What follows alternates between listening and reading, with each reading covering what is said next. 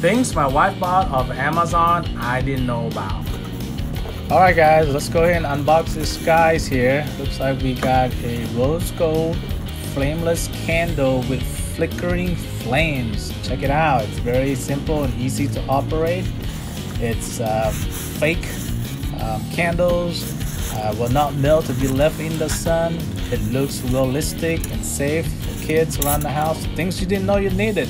If you'd like to get your hand on one, link is in my bio.